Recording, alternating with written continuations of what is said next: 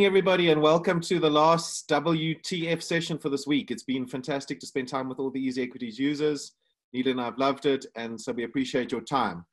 As we mentioned at this last one, we're going to be mainly taking your questions and answering some of the most asked questions during the week. So before I say hello to Nilan, um, please allow me five minutes just to make a few thank yous and to recap some of what we've learned this week. So firstly, obviously a big thanks to Nilan uh, who's been a legend, um, and you guys responded really well to, uh, to the information Nilan's given us. A big thanks also to all of you for joining. And we want you to remember from an easy equity side, you are far smarter than you think you are. So trust yourself, read about uh, the platform, um, but you guys really uh, are the ones that, uh, that have the, the knowledge. I also want to say thanks to my teammate Standwa and Lesedi for helping answering the questions and also a big thank you to the CNN Co team for hosting uh, on their platform. So then what the F is ending today, but as a reminder, please go to research.easyequities.co.za uh, for free uh, information we put together for you. You can go to support.easyequities.coza for some uh, frequently asked questions. And we are also going to bring back the WTF series in a couple of weeks and answer some more of your questions. So we will do that. All of these are available on YouTube and uh, already thousands of users have watched those. So if you've missed anything, go check out YouTube. So then a very brief recap and then we'll go to questions with Nilan. So as a reminder, all pricing that you see on our site is 15 minutes delayed. That's a very common practice and we do that to keep costs low but you need to be aware that when you are buying and selling, that you're doing it seeing a 15 minute delayed price. So that's the first thing. Second thing is Nilan helped us understand that when shares are suspended, nothing is wrong. That could be a variety of reasons. Companies in liquidation, or he then spent some time telling us the fascinating background to auctions. Um, I, for one, for instance, didn't know that every share goes through an auction on a daily basis. Nilan explained that during the day, there are also at times some intraday auctions, and that would lead to the suspension of shares. Um, so that was some fascinating information. We also spoke a little bit about liquidity, and Nilan explained to us that uh, a share being liquid um, versus not being uh, affected our ability to perhaps buy a certain quantum. And finally, Nilan explained to us the value of a share. So if a share has got a higher rand value, doesn't necessarily mean it's a more valuable share. There might be some other value and it's worth exploring. So without any further ado, Nilan, we're going to kick off with you. Good morning and ask you to talk to us a little bit about um, limits. There have been lots of questions about limit buying and stop order and words like that. Can people do that on the site? And tell us a little bit about that. Over to you. Sure. Morning, Carel, and morning to all the guys joining us this morning. And thank you. Uh, thank you for this week. It's been really enjoyable. It's been knowledgeable. Um, and ultimately, you know, that's what we're here for. And, uh, and we'll promote that frequently. And as Carel pointed out, you know, a lot of the information is available through various uh, mechanisms that we have on our website, through the support channels. Please, please, please, it's up there for free and it's there for you. So use it. Um, you know, there's lots of valuable stuff on there. Anita, um, you haven't made a mistake yet this week, so please don't disappoint us. Keep your track record today. I'll try hard. Thank you. okay, so we want to we want to talk about limits, right? And and this is something that came up during the week as well, um, and it relates to the discussion around liquidity. So, mm. what what we do on Easy Equities is we measure the liquidity of each and every stock. Um, our our risk team does that, and we say, well, you know, if on average a stock trades in 500 shares per trade on exchange, well, we're happy to facilitate trades, for example, in a thousand shares, and that'll be the limit for that stock. It's it's not a thumb suck. Um, there's science behind it, and it's uh, it's a mathematical uh, value that we use and a formula that we use to calculate that. And effectively, all we're saying is that relative to the liquidity of that specific stock, this is what we prepared to allow you to trade. And importantly, please note, it is not a position limit. It is a ticket limit. And what I mean by that is if, let's say you want to do um, 5,000 Rand worth of exposure to a specific stock and the limit is two, Well, you can do two, you can do another two, and you can do one to get to your 5,000. And it's also to ensure that you, you know, on each of those executions, that you're getting access to the current price at that time. Cool. So, Nilan, next up, I want to ask you a question around Bitcoin. And just remind everybody that Nilan and I aren't here to provide any advice. We want to repeat that you are the people best equipped to make a decision for yourself, taking into account your own circumstances. There is no right or wrong. There is getting information applying it to your own circumstances and believing in yourself. But Neil, in Bitcoin, can I buy Bitcoin on the Easy Equities platform? So you can't buy Bitcoin directly. However, you can get exposure to Bitcoin through another very innovative product that we have called DCX10 tokens. Okay. And this is an index of cryptocurrencies um, with its highest weight naturally being in Bitcoin because Bitcoin has the largest market cap. And I know you're going to pick on that, but we did discuss market capitalization. Um, so what these guys have done is they've created an index, and an index for for for those that want to know is simply a basket of different assets. Um, there's a method that they use in terms of facilitating the participation of each individual asset and what that individual asset's weight is in the index. So Bitcoin, for example, within the DCX token is something like 75%, and then it's spread out, the balance is spread out amongst the other uh, cryptocurrencies. So you can get exposure to Bitcoin via the DCX uh, token. So just to make sure I understand, there's more than one cryptocurrency. So we've taken Bitcoin and a bunch of cryptocurrencies. They all together in a basket, which is diversification, which you've also spoken about and yes. I can get exposure or buy that, and it's a DCX on our platform. Correct, and there are ten there are ten constituents to that, hence the name DCX10. But diversification is is perhaps key, uh, you know, the key point to make there. Cool. So just as a reminder for those who are asking about Bitcoin, Bitcoin is generally recognized, and cryptocurrencies are generally recognized to be a more risky investment. Um, so read. There's lots of information on cryptocurrencies on our site. There's lots of information from the team at DCX about explaining the value of cryptocurrencies. Um, and for those of you that are interested, there was also some content about the recent halving uh, and the price setting on the Bitcoin. Uh, and still something that I think is worth exploring. So we can check that out. Um, Nilan, somebody's asking us TFSA or money in an emergency fund. Now, again, you can't necessarily make a call because it's different for each person but what's the value of a tax-free savings account? So, you know, my personal opinion of this, right, is that every um, every person should aim to exhaust the tax-free savings account limit first before anything else. And there, you know, I'll justify I'll justify that. Unless somebody tells me that they enjoy paying tax, well, then that's fine. You know, if you prefer paying tax, then that's fine. Don't do it. But um, to date, I haven't met a single person that would prefer paying tax, right? So um, the the other reason I'm making the point is that a tax-free savings account does not mean that the money is not accessible. In an emergency, you can still access it, um, but rather have you, you know. And this year they've upped that limit from thirty-three thousand per year per individual to thirty-six thousand per year per individual, with the lifetime cap still remaining at five hundred thousand. So, um, you know, inv- investors for themselves certainly, but if you've got kids, um, there's no reason why you shouldn't be topping up that tax-free savings account. Uh, the universe that's available. So we have had some questions around what can I buy in the tax-free savings account.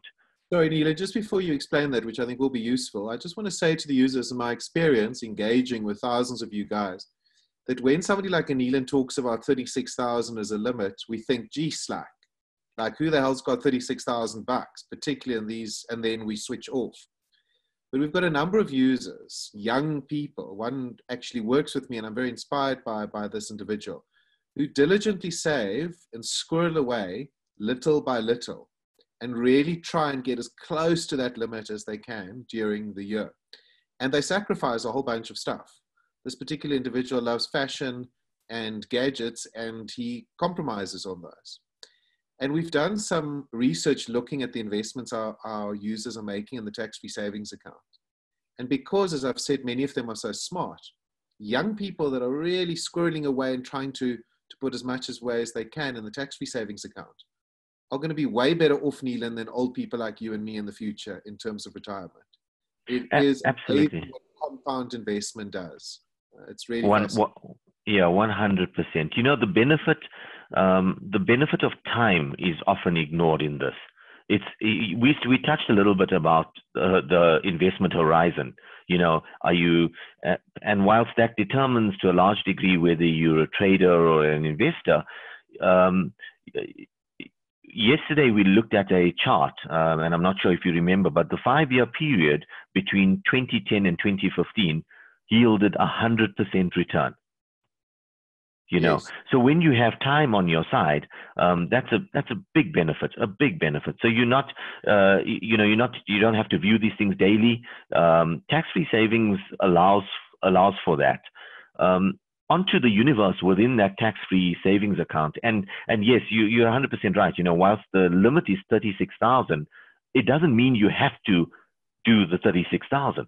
Do as much as you can, but try and fulfill that first before looking at other investments. Um, so the universe is dictated to us by National Treasury. Um, and again, you know, the theme around diversification features. So they've only allowed ETFs, so exchange traded funds, and I think we're going to do a session about that at some stage coming. So you know, users need to to keep an ear out uh, onto our tags for for releasing about that. But uh, I mean, they, they're wonderful products and um, a cheap and easy diversified entry into the market. So we'll go into a lot of detail about that at some point. But the the the, the justification for the reasoning behind ETFs within the tax-free savings account is largely around diversification. Is that you're not buying a single asset, you're not buying a Steinhoff and potentially putting your retirement or savings money into a single counter that can fall 50 or 60 or 70 or 80 percent. Um, and so, you know, uh, you can hold cash in there. You're not forced to invest it, um, but as long as you have it within the tax-free savings uh, account, everything you earn on there, be it interest, be it returns, be it dividends, all of that is completely tax-free. Thank you, Nilan. And I want to remind people of something that I said earlier this week is that Easy Equities is not a casino. So if you want to, you know, gamble, this is not the place. An investment is not a casino either. It takes time. And the sooner you start, the better, but it's never too late to start.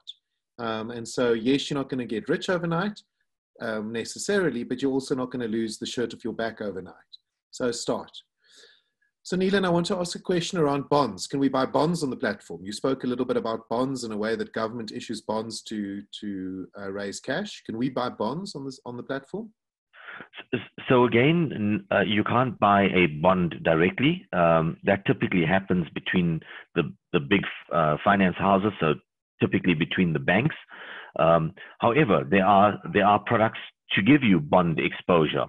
Most recently, Satrix um, listed a bond ETF, um, and there is an existing new funds which is issued by uh, ABSA, New Funds Gavi, which is also a bond ETF. And again, you know, you, and, and, users will start seeing the similarity come through in this, this, these discussions around diversification. So it's not a single bond that you're buying, but you are buying an index that it, that comprises different bonds with different yields and different maturities. Mm. So again, you know, you're spreading the risk over over a period. So there are, um, yeah, perhaps you know, two instruments to look at to start with is the Satrix Bond ETF and the New Funds Gavi ETF. And Both again, available on Easy Equities, obviously. Yeah. And then on the site, we've got research from, from an independent company like Intellidex that looks at each ETF and gives you views on past performance, perhaps future um, plans, and that will help users make up their mind. We also have an easy ETF platform, which um, has got a wealth of information. Um, and the guys update that, you know, regularly. Um, so check out Easy ETF. As a matter of interest, more than 50% of what gets bought on the Easy Equities platform is now ETF. It's not individual shares. So our users really like ETFs and are buying more and more. Neil, I want to ask um, you to chat a little bit about Dirk's question. Um, and um, sorry, I'm going to get back to, to Dirk. I wanted to do the one about property and rates. We've got some great questions here.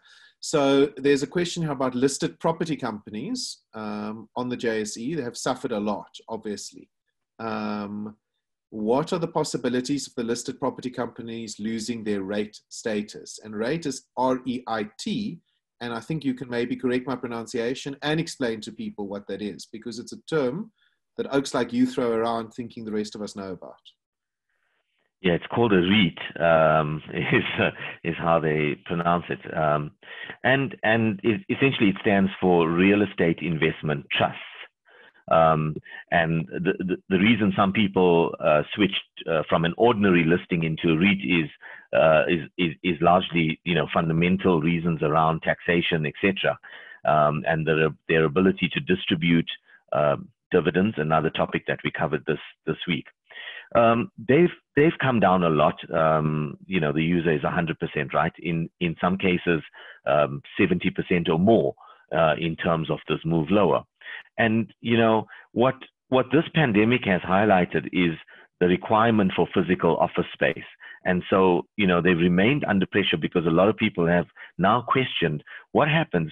Uh, how, how these companies actually make money is basically on the basis of rental income. So they own they own these portfolio of buildings. They they lease out those buildings or rent those buildings out, and their income is derived from rental income. Um, naturally, there'll be escalation in that rental, and that awards uh, holders of these companies to receive dividends because you have to believe that the, the, the sum of the rent that you get in is greater than the amount that you got to pay the bank for the bond or the mortgage against the building. And that difference results in a profit. And after cost, those profits are dis uh, distributed to shareholders. Um, the attraction around property companies largely have been about the yield, the dividend yield, and we touched on that during the week as well. And they've been known to be some of the highest paying, uh, highest yielding companies or listings on the exchange and hence the attraction. So lots of people have bought into that. People, you know, people are nervous about the situation we're in. People are nervous about whether there's a need for physical property anymore.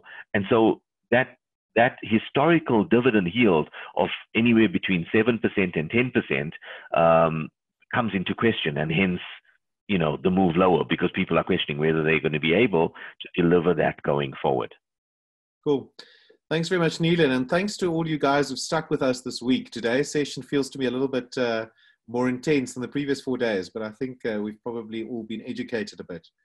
Um, there's a question around easy equities going into other African markets, uh, including Botswana, Rwanda, Nigeria, and Ghana. Just to say that uh, we absolutely are exploring those options, um, but our immediate plans are first to um, start going in Australia, which is imminent um, both for Australians to enjoy the benefits of an easy equities platform and also for us to have exposure to Australian shares. Um, but we are. We've, uh, we've had a couple of our team members uh, meet with regulators, exchanges, brokers, and um, people in the investment industry in a couple of African countries. And as a proudly African company itself, Easy Equities, it's definitely something we'll, we'll look at. I want to touch on Heno's question. Heno is 15 years old and uh, is one of the thousands of stories that we get uh, that inspire us on a daily basis.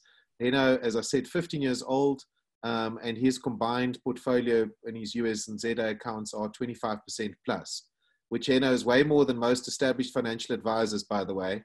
So uh, just goes to show. So well done. Heno's got a question around why his uh, parents need to sign surety. And Heno, I'm going to give you the short answer here. Easy Equities is heavily regulated and happily so um, by JSE, by the FSCA, the overall financial regulator, and we have compliance people and legal people that work with us, and they give us a very hard time. Again, rightfully so. They check and make sure that whatever we want to do on the platform, A is legal, and B will make sure that you as an investor is always protected and that your cash is safe. So any of the rules we have are put there by our compliance and legal people to make sure that your money is is always uh, is always safe. Um, Nilan, any insights on why the supermarket stocks are taking a bit of a beating? Sure, they operate in retail. Um, I mean, have you been out over this period to? I've been out twice only, and it was a little bit freaky for me, so hardly at all. Yeah, yeah, and I it wasn't to a hairdresser because I can see you did that yourself or at home. But uh, uh, yeah, listen, they,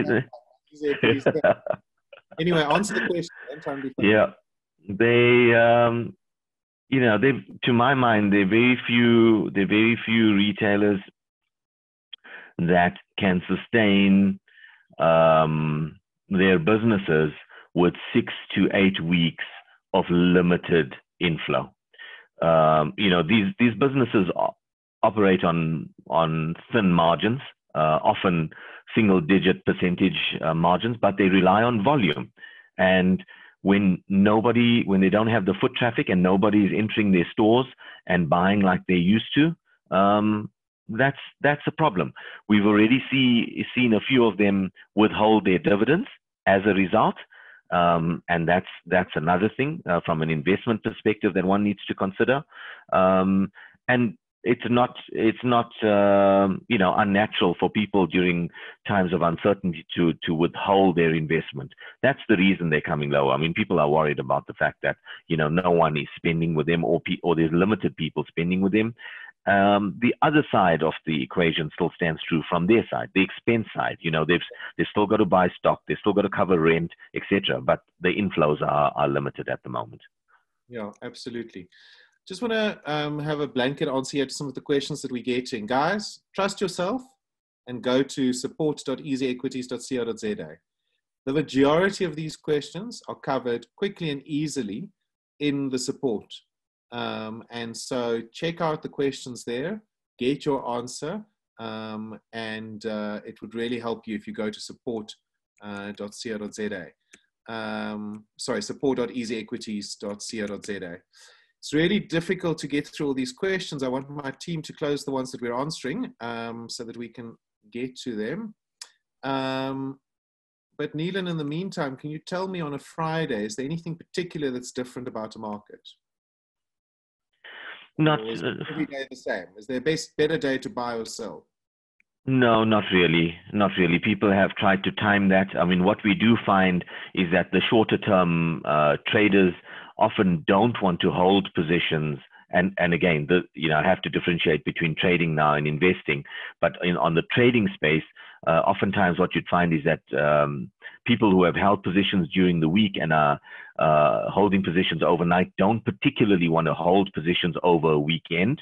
So there's a lot of position squaring going on in the trading world that normally happens into the close on a Friday. Um, and and the reason for that is that the longer you hold uh, you know, positions where you can't do anything about them, oftentimes the more the risk or the more the gain. You don't know which way it's going to go, but anything could happen over the weekend, and hence we see a bit of activity uh, happening on a Friday into the close. But from an investment perspective, no, not really. There's not mm-hmm. there's not major difference, nor a favorite time to choose. Cool. Francois was asking us a question around um, reporting for dividends, etc um, and specifically around uh, his tax. Uh, he's only been using his tax-free savings account and he's asking, is it easy to report? So Nilan, you can do some quality control on my answer here, but simplistically, Easy Equities takes care of all of this. Um, there are monthly statements that are available, uh, a couple of uh, weeks after the, the previous month, which details all the activity within your various accounts. And on an annual basis, we provide you with your tax certificate uh, and the information that you require to, to do your tax returns. So we take care of all of that. And simplistically, if a dividend is paid out, paid out, we withhold the tax before we pay it out. So it's really a seamless and easy process. Is that about right? 100% correct. Yeah. So we, we do all the administration around that. We, um, there's an obligation on, on us as a financial services provider to report to, to SARS also and the data that's contained in that annual tax statement that you refer to uh, will correspond to what we've already reported to SARS, uh, and that just needs to be incorporated into his normal tax return. Cool.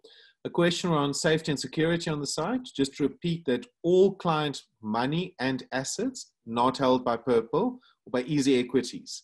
Uh, it is held what Nilan calls a nominee account, And in my language, it just means that somebody else or another entity has got all the cash assets of our users and it's completely safe and protected within that structure. And again, regulated, audited, checked, um, so 100%, 100% safe.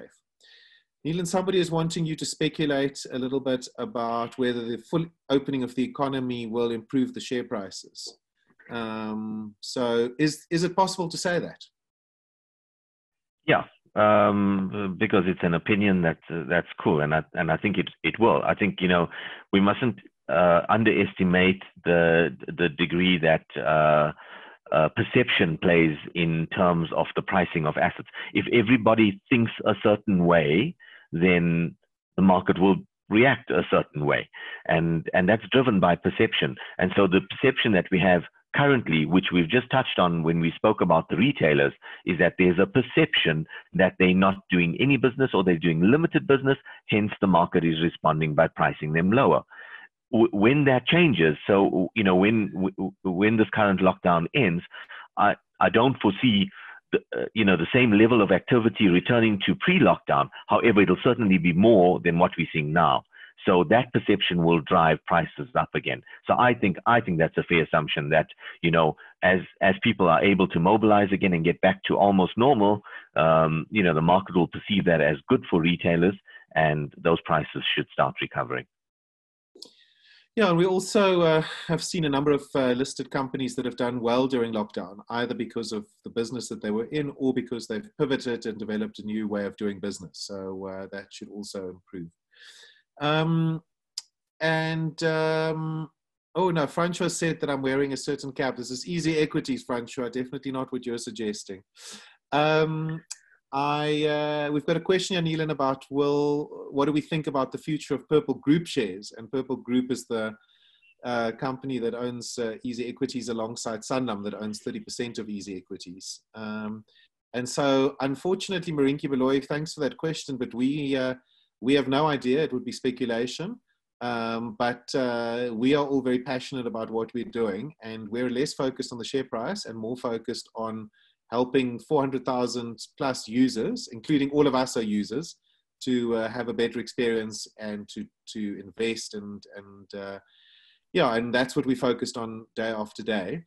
Um, but uh, you might be interested. A guy called Junior Buffett uh, on Twitter published an article that he wrote some research, um, and he did it yesterday. So it's at Junior Buffett, and he's sharing some insights about what he thinks about Purple Group and uh, where he thinks the share will go, and you might find that uh, interesting. We've got a couple of people that are asking again about the share price, Nilan, and about if I buy at the price I see, is that the price that I'm going to be filled at? So I'm going to answer this question so that you can do quality control to see if I've learned. So the price that I see is 15 minutes delayed. Um, and the reason for that is to make sure that we keep costs down. I should also check that the price that I'm looking at for the ask and the sell, how big a difference that is. And the bigger the difference, then maybe there should be some warning bells in terms of the liquidity or the availability for me to buy and sell those. But in theory, the price that I see should be pretty close to what I get filled at, barring lots of volatility in the market. So it's not because Easy Equities is trying to do anything strange. It's simply to keep costs down. And in a market where a share is not overly volatile, that price should be pretty much similar to what I see. Correct? Absolutely correct. The only thing I'll, I'll, you know, to summarize that, what I would say is that whilst you view a 15 minute delayed price, your execution happens at the live price. So, you know, that's the only thing I want to add to that, but you're spot on. And also, Nilan briefly mentioned we've got some functionality uh, that we're testing and will be available for all where you'll be able to get a, a, a snapshot price. So that will be a more up to date price. Um, maybe just to talk about functionality on the site. We um, have a we spend the majority of our money on, um, apart from the salaries of our team, on um, development. And we develop based on feedback from users and the data that we see. And we then prioritize um, what we do. And so, you know, if one or two people want something, it's not a high priority. But if lots of people want, we look at it. also, if it's causing a pain point for lots of people, we, we look at fixing it. Um, and so every Thursday morning, we have a release of new features on the site. And so some of you will see that the site is down before market open, um, and that's when we are releasing these deploys. Um, and uh, our development team are absolutely phenomenal. All of them are also users, and they take what they do very, very seriously. Um, Nilan, we've got a question here around um, opening an account for your daughter. So to say you can absolutely, whether she's four or even younger. Uh, we've got clients that are a couple of months old, and we've got clients that are in their 90s. All the details for opening these accounts, support.easyequities.co.za. Check it out. All the information is there. Um, here we go, Nilan. A question we've had a lot. Can easy equities add stop limits? So again, I mean, you know, this is, this is we've had a few people ask this. Um, this is largely going to be around the development that's required. I mean, there's a there's a complex uh, bit of logic that needs to go into that. We have discussed it internally, and we will continue discussing it. Um, just you know, just touching around the development side of things. I mean, uh, snapshot pricing is coming. That will be next uh, in the pipeline. Behind that would be limit orders, and these are entry orders, so not exit orders. And I can only imagine that the natural progression from there would be these exit orders. You know, um, so yeah, all, all being discussed. Uh, I can't give you a timeline, um, but it's definitely on the radar. And as soon as we can get them onto the platform, we will. Cool. And Louis, you would have noticed gaps because that is what happens in an auction at times. So, uh, Louis, you can see the question then, Elon, relates to auction and that there might be a bigger difference between ask and bid during an auction. Um, I um, want to ask you, Nilan, do you personally invest? Yes, I do.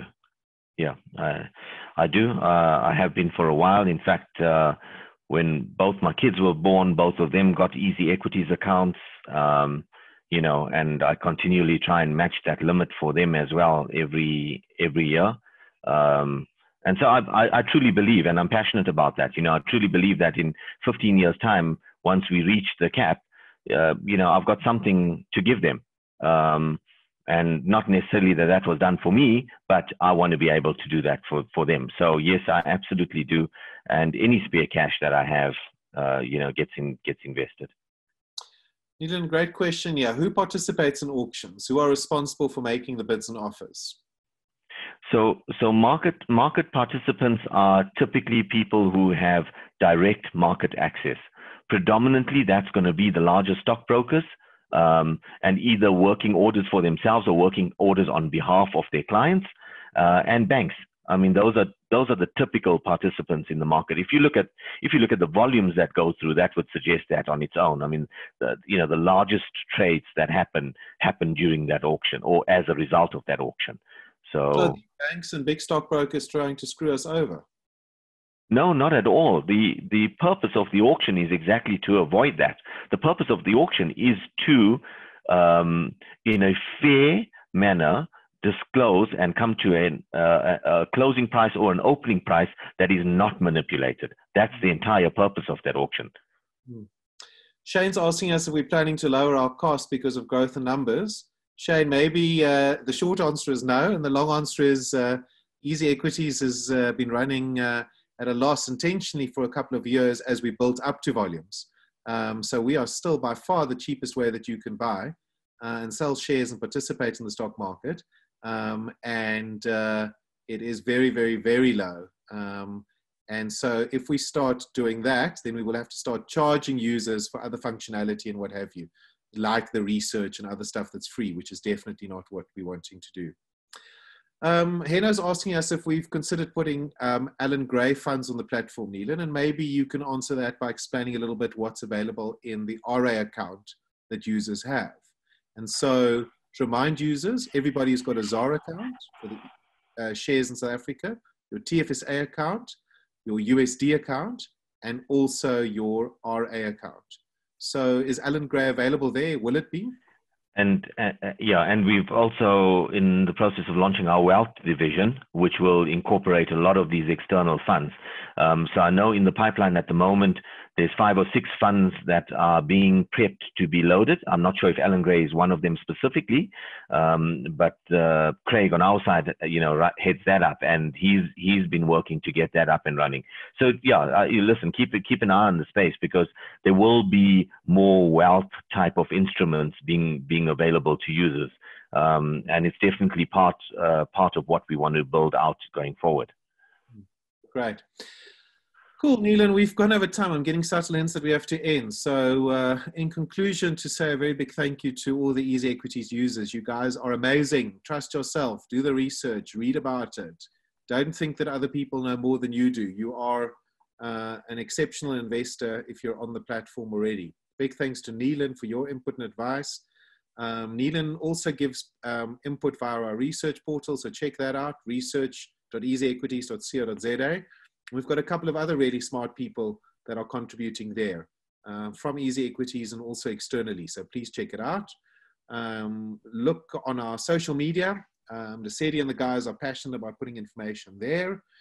Um, and a big favor from my side, please read support.easyequities.co.za.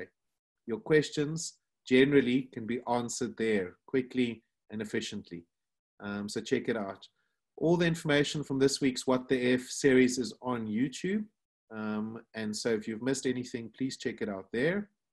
Then the last thing before I hand over to Nilan for concluding thoughts is have a brilliant weekend and happy investing. Over to you, Nilan. Yeah, uh, also a very big thank you to everybody that participated this week. Thank you for the for the questions. Uh, thank you for the participation. Thank you for the interest, and thanks for your support. Um, you know, as we mentioned during the week, we we are all learning stuff every single day. Please don't ever stop learning. As Carel suggests, read. There's lots of information there for free. It's not going to cost you a cent. It just costs you time and there's i would imagine during this period there's no excuse for that i mean everybody's uh, got a bit of extra time on their hands so please use it wisely and yeah continue investing and happy investing and now we'll let Nilan get back to his screens and the sexual moment that he enjoys looking at all of us. So good luck, Nilan. Cheers, everybody. Thank you very much. Cheers, then.